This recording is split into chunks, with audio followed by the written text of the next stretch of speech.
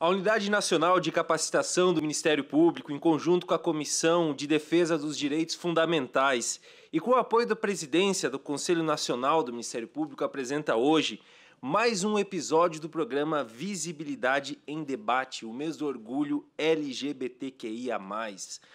Nosso programa vai ao ar todas as segundas-feiras, às 10 horas da manhã, no canal do CNMP no YouTube. E nessa edição de cinco episódios, tem o objetivo de debater aspectos técnicos e jurídicos de decisões judiciais e de instrumentos normativos que versam sobre assuntos relacionados à temática LGBTQIA, sem politizar o assunto.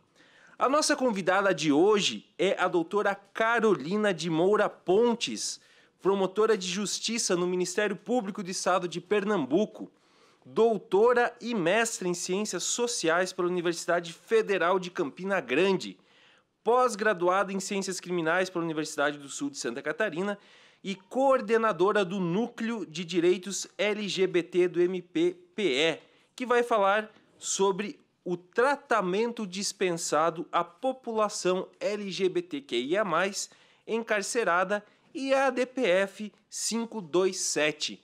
Doutora Carolina, é uma honra tê-la conosco. Seja muito bem-vinda ao nosso programa.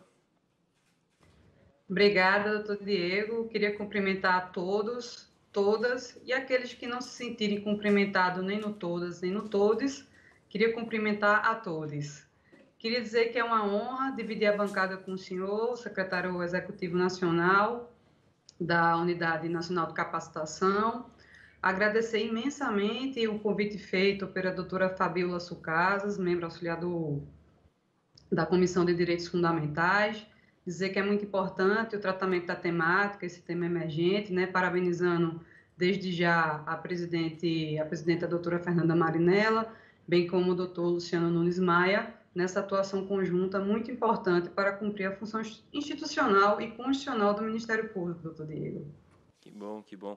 Doutora Carolina, é, é, claro, é uma honra, uma satisfação muito grande a gente ter aqui no nosso programa uma pessoa com o conhecimento do assunto como a senhora, confessando, né, que eu como atuo nesse, nesse ao longo desses 10 anos atuando no GAECO, atuando é, em em promotorias que versam sobre patrimônio público, está é, tá sendo também para mim um aprendizado muito grande estar debatendo esses assuntos e está sendo muito proveitoso. Se para mim, imagino para os colegas que estão acompanhando a nossa, nossos programas, os nossos temas aqui trazidos. E o tema de hoje, um tema muito importante, né, para todos que atuam na área tanto criminal quanto de execução penal. Eu já começo, é, doutora Carolina, com a primeira pergunta, é, justamente relacionada à DPF 527. É, eu fiz uma anotação aqui que o ministro Luiz Barroso é, determinou, em julgamento realizado em 19 de março, justamente na DPF 527, que transexuais e travestis privadas de liberdade com identidade de gênero feminino possam optar por cumprir penas em estabelecimento prisional feminino ou masculino. E nesse último caso, elas devem ser mantidas em área reservada como garantia de segurança. Falando especificamente da ADPF 527, doutora Carolina. Quais os princípios constitucionais o STF afirmou por meio do julgamento dessa ADPF e por qual motivo é preciso atentar para as condições da população LGBTQIA privada de liberdade, seja cautelarmente ou seja por força de uma decisão definitiva? Doutor Diego, eu queria é, começar dizendo que nós somos todos alunos, né? Nesse assunto tão palpitante e diria privilegiados, né? Por esse direito tão novo que as pessoas LGBT nos proporcionam a questionar e a construir. Eu vou fazer feito o roteiro de filme, eu vou deixar para responder a pergunta dos seus princípios no final, e vou trazer uma outra questão que eu acho bem importante a gente esclarecer nesse momento do, do debate, importante esse, esse recorte que o senhor acaba de fazer para dizer que a gente vai falar dentro da linha do que foi decidido na, nesta DPF, né, para dizer que esse é um universo riquíssimo, a gente poderia passar aqui amanhã debatendo esse assunto, fazendo é, uma série de transversalidades que o assunto traz, mas aí o tempo, esse desafio que o tempo nos faz, nos, é, nos coloca para fazer algumas considerações preliminares que eu acho bastante importante. quando o senhor traz aí essa linha da pergunta, veja que o senhor faz uma diferença entre travesti e transexual. E esse é um conceito bastante fluido e dinâmico, e assim deve ser no que concerne a construção de identidades. E o importante é que a gente possa, nesse momento, compreender esses conceitos, porque eles vão costurar toda a nossa discussão de hoje, né? inclusive nessa decisão do ministro Barroso, isso também vai fazer parte e é importante que a gente decida. A gente tem que a, a identidade travesti, ela é como se chama uma identidade de gênero autônoma. Né? A pessoa que assim se identifica e se autodenomina, se autodeclara, ela na verdade se apropria de expressões do gênero diverso, né? Porque a gente também pode, a gente tem a travesti mulher, mas a gente também pode ter o travesti homem. Então, é uma identidade de gênero em que você se apropria, você se veste, você usa maquiagem, você se apropria dessas expressões, mas não necessariamente reivindica o gênero. No caso das pessoas transexuais, a gente tem uma inadequação com o sexo do nascimento. Há como a linguagem usada nas normas, nas normas técnicas que a gente vai ver, uma rejeição ao sexo biológico. Antigamente, exigi, é, existia um falso conceito de que a travesti era aquela que chegava na porta da cirurgia de redesignação e a pessoa transexual era aquela que efetivamente fazia cirurgia. Mas isso é uma, um conceito totalmente falacioso, porque nós podemos ter pessoas transexuais que não se submetem à cirurgia nem a tratamento hormonal e reivindicam né, essa, essa identidade no outro gênero, e a gente pode ter pessoas travestis que se submetem a tratamento hormonal e até cirurgias. Então, a gente tem que ter um pouco de cuidado no tratamento desses conceitos. É importante, é um conceito dinâmico, a gente vai acompanhando e crescendo, né, junto com essa construção dessas identidades. Essa é uma questão importante para a gente colocar. Uma outra questão, antes da gente falar da DPF, é a gente buscar um pouco lá atrás, historicizar de onde vem né, o nascedor ou a primeira normatização que a gente tem notícias sobre a população, os direitos da população LGBTI, QIAP+, encarcerada, e a gente vai buscar essa normatização lá numa portaria perdão, uma resolução, que é a resolução número 1, barra 2014, do Conselho Nacional, é super interessante essa, vai balizar todo o que é o Conselho Nacional de Política Criminal e Penitenciária, ela foi uma resolução conjunta, que também foi feita com o presidente do Conselho Nacional de Combate à Discriminação. Então, nessa portaria de 2014, a gente, além de já se trazer um pouco desse conceito que eu tentei tratar aqui, né, que é importante para você definir é, como essa política vai ser aplicada, lá também na época já foram asseguradas uma, sé uma série de situações. Então, por exemplo, desde essa época já se pensou no direito à saúde, né? Imagina uma pessoa transexual ou travesti que faz um tratamento hormonal e é encarcerada e esse tratamento hormonal é suspenso, né? Então, existe uma série de prejuízos em razão disso.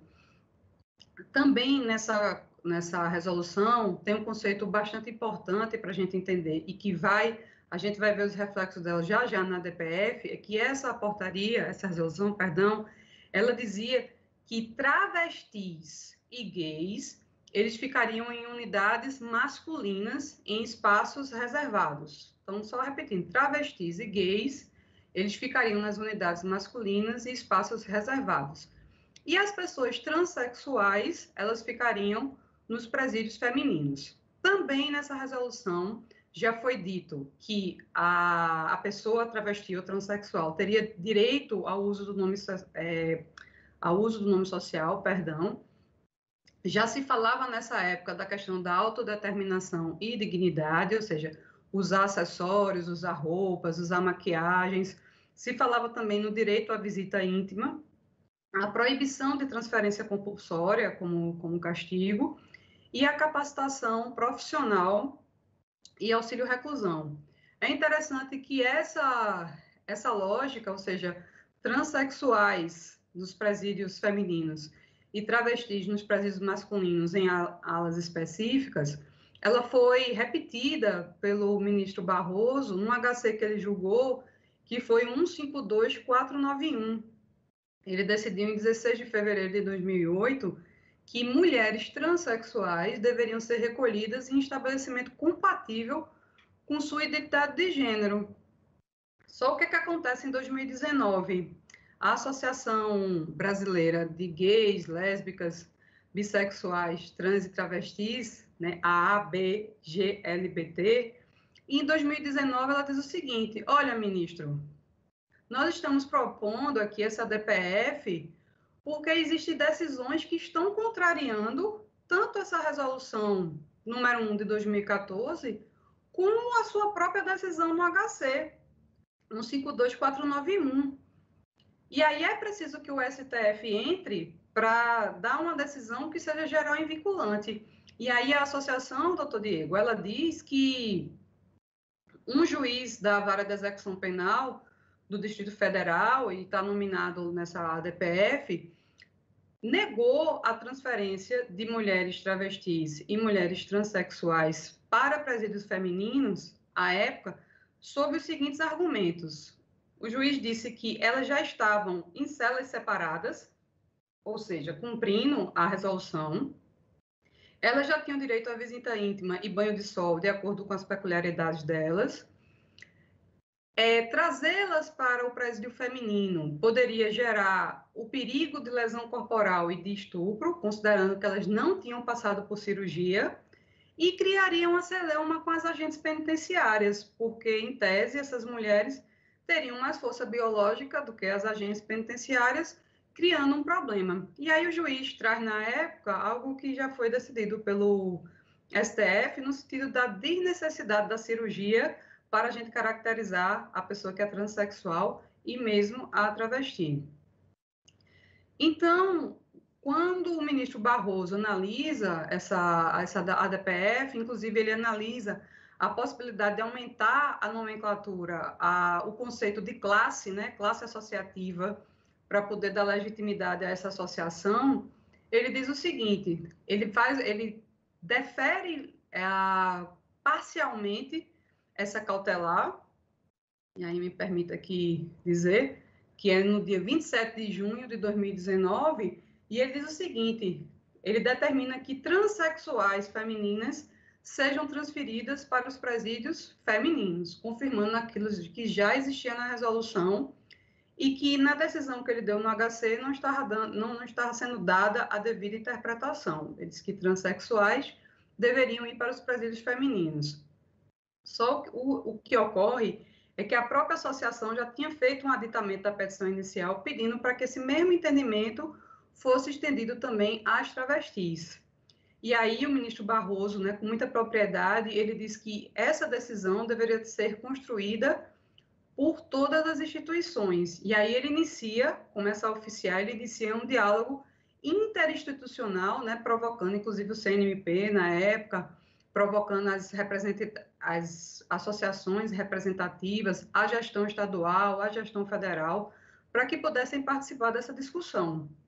Então, de 27 de junho de 2019 para frente, o que a gente teve foi uma, um reforço bastante importante que viriam a balizar a futura decisão, ainda nesse pedido de cautelar feita pelo ministro Barroso dentro dessa DPF. Então, o que foi que o governo federal fez? Doutor Diego, um estudo fenomenal que tem a seguinte, o seguinte título: LGBT nas prisões do Brasil, diagnósticos dos procedimentos institucionais e experiências de encarceramento do Ministério da Mulher, da Família e dos Direitos Humanos do Governo Federal. Né? Esse estudo ele fez um diagnóstico né, das unidades prisionais que responderam o, o questionário e eles conseguiram ter uma fotografia nacional da situação dessa população LGBT, se existia alas separadas em presídios masculinos, como é que funcionava o tratamento, se a gestão tinha algum tipo de fluxo de procedimento para tratar essa população.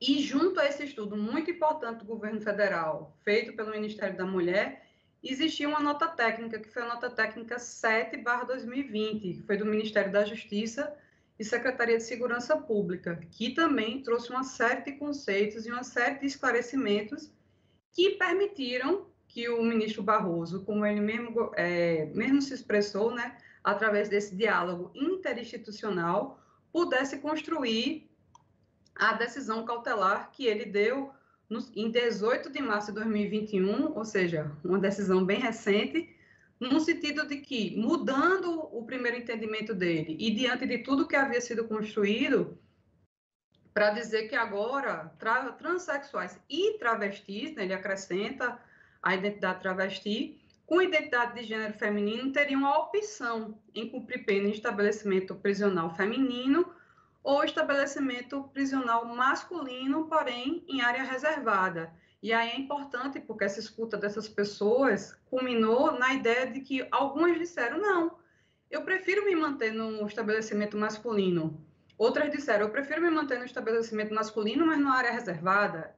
E outras ainda disseram: eu prefiro ir para o estabelecimento feminino. Então, agora, respondendo a sua pergunta do início no final, como um roteiro de filme, então, para dizer que o ministro Barroso, ele disse que essa decisão dele era baseada no direito à dignidade humana, no direito à autonomia, no direito à liberdade, no direito à igualdade, no direito à saúde e na vedação à tortura e ao tratamento degradantes. E aí ele cita, além da nossa Constituição, uma série de tratados internacionais.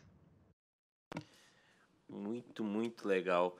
Doutora Carolina, é, seguindo essa timeline aí, é, desde, desde a, da, dos instrumentos normativos que a senhora mencionou, a gente também teve em outubro de 2020 uma resolução do CNJ, né? O CNJ editou a resolução 348, que estabelece diretrizes e procedimentos a serem observados pelo Poder Judiciário no âmbito criminal com relação ao tratamento da população lésbica, gay, bissexual, transexual, travesti ou intersexo que seja custodiada, acusada, ré, condenada, privada de liberdade, em cumprimento de alternativas penais ou monitorada eletronicamente.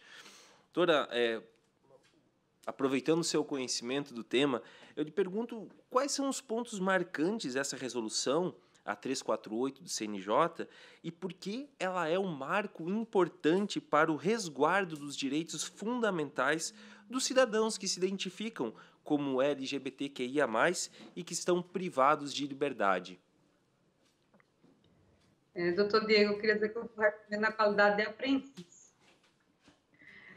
E dizer o seguinte, essa resolução, de fato, é um marco, é um marco histórico na defesa dos direitos da população LGBTQIA, P+, e carcerada, e eu ainda é, acrescento que ela foi alterada recentemente, né? ela foi alterada pela Resolução 366 de 2021, de 20 de janeiro de 2021, que fez algumas alterações importantes, e a essa resolução foi incorporada não só esses elementos que eu trouxe na questão passada, né, esse, esse diagnóstico feito pelo governo federal e essa nota técnica feita pelo Ministério da Justiça, como uma outra nota técnica também expedida pelo Ministério da Justiça, que foi a número 09/2020, no sentido de que o Ministério da Justiça, nessa construção desse procedimento e desse fluxograma, ela enviou para todas as unidades prisionais do Estado um questionário para ter ideia da população que existe, que, existe, né, que na, na ocasião se autodeclarava como LGBT. E aí me permita aqui ler um pouco dos números para a gente ter uma ideia. Foram declarados 10.161 LGBTs, sendo 2.284 gays 1.164 bissexuais, 1.027 travestis, 611 mulheres trans, 2.425 lésbicas, 2.297 mulheres bi e 353 homens trans. E aí o senhor vê que a gente tem um universo de 10 mil pessoas autodeclaradas, né? considerando que a questão da orientação sexual e da identidade de gênero passa, como o Irving Goffman já ensinou a gente, pela possibilidade dessa manipulação da identidade. Então, muitos, por questões de segurança, por questões de privacidade, decidem não se autodeclarar. Mas só para a gente ter uma ideia do universo que precisa ser protegido pelo Ministério Público, pelo sistema de persecução penal, pelo sistema penitenciário.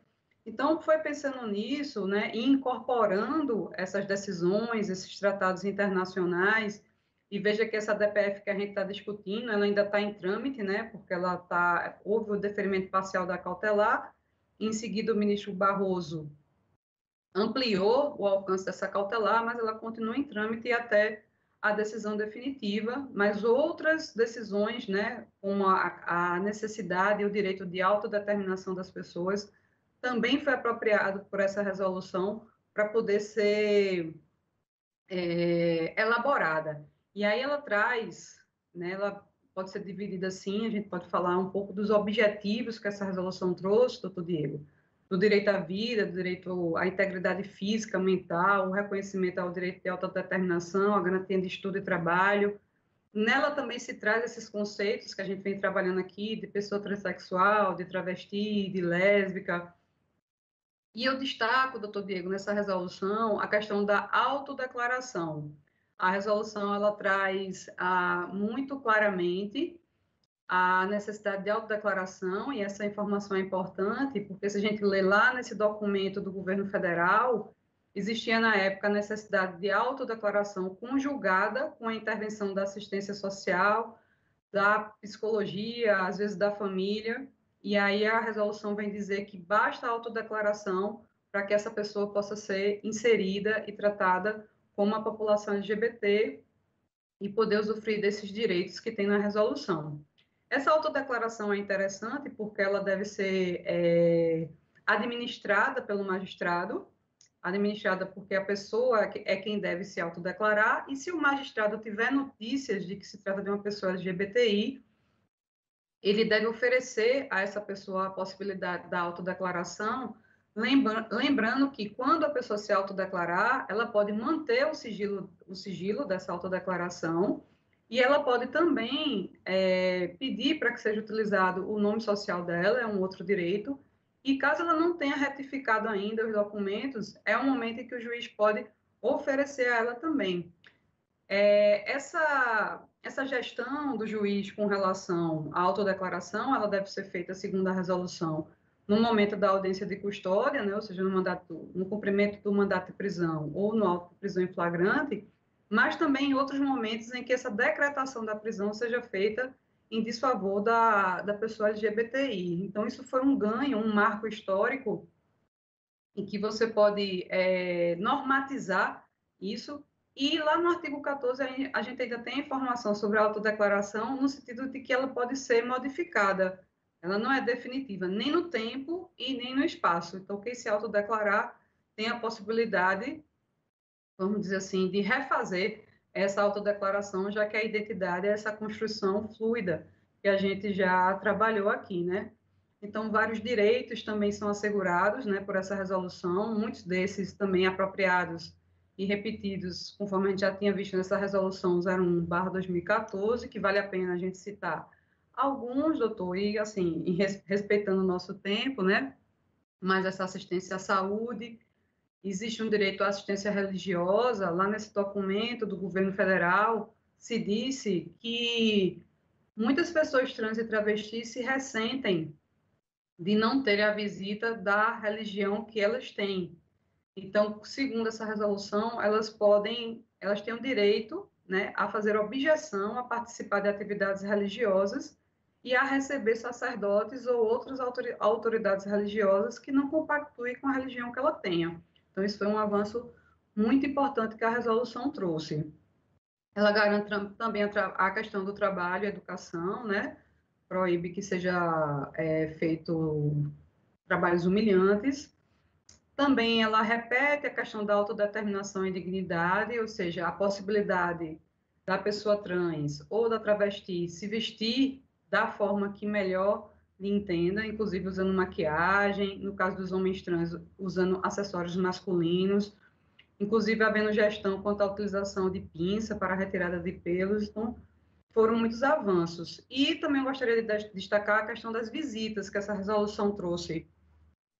A, a população trans e a população das pessoas transexuais, elas normalmente têm vínculos partidos com a família desde o começo, né? Normalmente elas são expulsas de casa e esses vínculos biológicos com a família eles são todos rompidos. E aí essas pessoas passam a ter vínculos com amigos e com outras pessoas que não necessariamente os parentes. Então, atento a isso.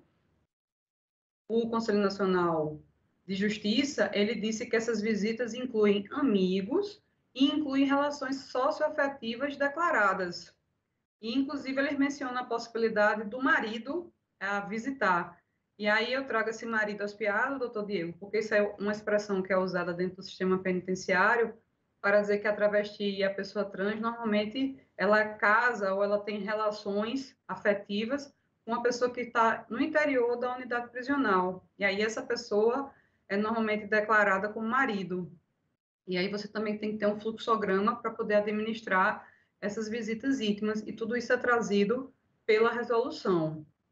Há ainda também a questão dos locais específicos, os espaços de convivência e duas coisas importantíssimas para a gente finalizar aqui esse comentário sobre a resolução é que ela estende para os adolescentes autodeclarados LGBTs a possibilidade de utilização dessa resolução, considerando a peculiaridade trazida né, pelo Estatuto da Criança e do Adolescente e o princípio de que se, de que se trata de pessoa em desenvolvimento. E, por último, ela provoca né, e determina que as escolas de magistratura promovam cursos de educação para que a gente possa qualificar tanto o sistema penitenciário quanto os próprios magistrados e servidores na aplicação dessa resolução. Doutora Carolina, é, nosso tempo é curto, infelizmente. O assunto, como a senhora falou, é, é muito interessante. Mas não poderia deixar de mencionar, doutora Carolina, que recentemente foi apresentado pelos conselheiros que presidem as comissões de defesa dos direitos fundamentais e a Comissão do Sistema Prisional e Controle Externo da Atividade Policial e Segurança Pública, aqui no âmbito do CNMP, uma proposta de recomendação com o propósito de fomentar a fiscalização dos parâmetros de acolhimento das pessoas LGBTQIA privadas de liberdade.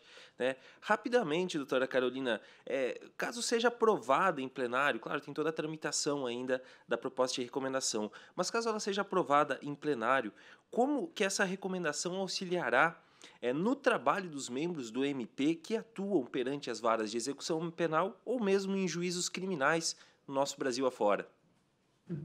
Doutor Diego, bem atento aí ao tema, é, ao tempo, na verdade, eu queria dizer que lá o ministro Barroso, quando ele intimou as instituições, uma das únicas que prontamente respondeu foi o CNMP, e dizendo o seguinte, que já, já existia em estudo uma proposta de resolução, isso lá em 2019, porque o CNMP já tinha sido provocado pela pelo Conselho Nacional de Combate à Discriminação e Promoção de Direitos de Lésbicas, Gays e Bissexuais no ano de 2019. E aí essa proposta, doutor Diego, foi retomada em 2021 a partir do diálogo tanto da presidência da Comissão de Defesa dos Direitos Fundamentais, pelo conselheiro doutor Luciano Nunes Maia, em conjunto com o conselheiro doutor Marcelo Rabelo de Souza, que é o presidente da Comissão do Sistema Prisional e Controle Externo da Atividade Policial e Segurança Pública, então, essa proposta de resolução, muito importante, doutor Diego, para os promotores que estão na ponta, seja os promotores criminais, seja o promotor da vara de execução penal, seja o promotor de direitos humanos, no fomento e na fiscalização desses direitos garantidos pela resolução e fomentados pela Constituição e por esses tratados internacionais. Ela segue a mesma lógica da resolução, quando ela pensa na na divisão né, dessa, dessa proposta de fiscalização e fomento, quando ela pensa nos direitos, na necessidade de articulação com redes e entidades representativas, quando ela fala do nome social, da necessidade de se garantir esse espaço de convivência específico, a opção da unidade prisional que deseja ser recolhida, né, autodeterminação e dignidade, visita íntimas, direito à saúde, trabalho e educação, também essa questão dos cursos de qualificação, e quando essa, essa proposta de resolução ainda traz também a necessidade de se manter um cadastro atualizado dessas pessoas LGBT. E só para lhe dar um exemplo, né, em Pernambuco a gente tem um, um presídio que é o de Igaraçu, que tem uma aula específica, e a Promotoria de Execução Penal com a Promotoria de Direitos Humanos apurou que as pessoas trans não queriam progredir de regime. E aí foi feito um estudo na época para dizer que elas não queriam progredir porque ali era um espaço muito bom, muito organizado, e elas tinham medo de não sofrer o mesmo acolhimento em outro local. Então, essa resolução ela vai vir para fomentar, para ajudar e principalmente para balizar a intervenção do Ministério Público em favor dessa população encarcerada, doutor Diego. Perfeito. Doutora Carolina, para finalizar esse nosso bate-papo, é, a senhora teria alguma bibliografia, filme ou série de TV para indicar às pessoas que nos acompanham que gostariam de se aprofundar mais sobre a temática? É um, momento cultural, né, doutor Diego?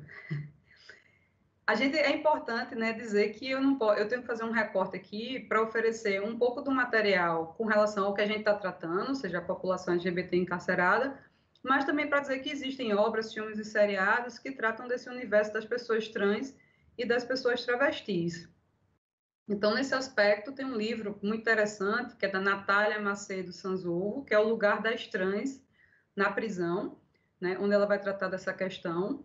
Existe também uma dissertação de mestrado de um assistente social que foi transformada num livro, que é Travestis e Prisões, Experiência Social e Mecanismos Particulares de Encarceramento no Brasil, que é do Guilherme Gomes Ferreira. E existe também algumas obras que tratam do universo trans. E quem, por exemplo, que tem curiosidade de entender o universo do homem trans, que não é muito comum, né, assim, terem obras nesse sentido, eu indico do João Neri, que é a Viagem Solitária, onde ele conta toda a história dele e os obstáculos que ele enfrentou. Também tem depoimentos nas vidas trans, A Coragem de Existir, e tem alguns filmes também que são super interessantes, né? Eu teria vários, eu fiz o um recorte de alguns aqui. O Carandiru, né, o Rodrigo Santoro, ele interpreta uma, uma transexual chamada Lady Di, que traz um pouco da, dessa realidade da pessoa trans dentro do sistema carcerário, mas ainda sobre o universo trans teria a Garota Dinamarquesa, Meninos Não Choram, o Tomboy, e um documentário que tem na, na Netflix, que é o Laerce, né, que todo mundo pode, pode acessar, que também ele conta a história dessa construção da identidade dele. E, considerando a moda dos seriados, a gente também tem alguns. No canal Curta, a gente tem Eu Preso, né, que é uma série de oito, oito episódios falando das pessoas trans que estão encarceradas. Tem um seriado que hoje tem o maior elenco transexual da história né, do cinema, que é o Pose, a gente também tem o Sense8, em que você tem uma, uma atriz que é trans e que interpreta uma personagem que é a Nome, e também no mesmo sentido a gente tem The Orange is the New Black, que também é outra que tem uma personagem trans super legal que traz esse, esse, esse universo trans para quem deseja, para quem quer se aprofundar na questão. Doutora Carolina, nosso tempo já chegou ao final. Agradecendo a todas as pessoas que nos acompanharam até aqui, eu lhe devolvo a palavra para que a senhora faça suas considerações finais. Ô, doutor Diego, eu queria agradecer mais uma vez né, o convite, dizer que eu coordeno o Núcleo de Direitos LGBT do Ministério Público de Pernambuco, que existe desde o ano de 2012. Ele é pioneiro no país a gente trabalha com essa temática, seja com a sociedade civil, fazendo palestras, fazendo capacitações, como a gente fez no percurso de 2013 2014, elaborando cartilhas, dando apoio técnico e jurídico para as promotorias de, que são os órgãos de execução, na verdade, e eu espero que esse trabalho né, se estenda a, a outros ministérios públicos. Né? Hoje nós temos sete membros espalhados por todo o estado de Pernambuco, das mais diversas atribuições e dizer da importância que é esse trabalho de garantir a essa população né, tão rica que nos proporciona tantas novas compreensões do mundo e que a gente possa, de fato, fazer cumprir essas decisões do STF em relação a essas pessoas com as resoluções que a gente está tendo, né, com esses avanços e esses marcos históricos que são a resolução do, CN, do CNJ e será com certeza, a resolução do CNMP em trâmite. Muito obrigada, doutor. A gente que agradece. É, e antes de encerrar, eu gostaria também de agradecer a todas as pessoas que tornaram a realização desse programa possível, é, especialmente ao presidente do Conselho Nacional do Ministério Público, doutor Augusto Aras, aos conselheiros do Ministério Público, doutora Fernanda Marinella, presidente da Unidade Nacional de Capacitação, e doutor Luciano Nunes Maia, Maia Freire, presidente da Comissão de Defesa dos Direitos Fundamentais, as membros auxiliares é, aqui do Ministério do Conselho Nacional, a Monique Teixeira Vaz e a Fabiola Sucasas, a equipe técnica da Unidade Nacional de Capacitação, a Aline, a Olga, o Vladimir, e todos os servidores e funcionários envolvidos na parte de cerimonial, de TI, de comunicação e de produção de conteúdo audiovisual do CNMP, fazendo especial menção aqui à Verônica, ao Sérgio, à Bia, ao Douglas e ao Valcir, e a todos que fazem essa mágica acontecer. E agradeço por fim a todas as pessoas que nos acompanharam até aqui, lembrando né, que é, é possível rever os episódios da nossa série no canal do CNMP no YouTube. Eles estão disponíveis né, para serem assistidos a qualquer momento. Agradeço a todos pela atenção, fiquem com Deus, a gente se encontra numa próxima edição do programa.